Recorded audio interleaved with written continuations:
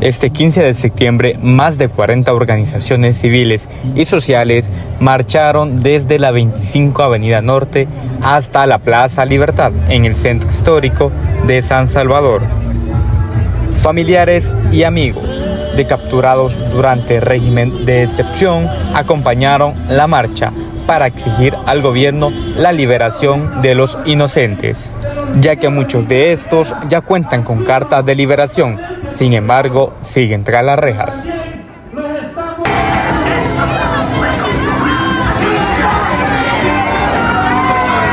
Vivos se los llevaron, vivos los queremos.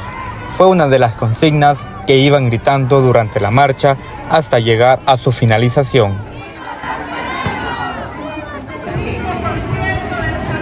Fueron cientos de personas las que se abocaron a esta marcha para exigir justicia, aumento salarial y sobre todo alimentación a precios accesibles.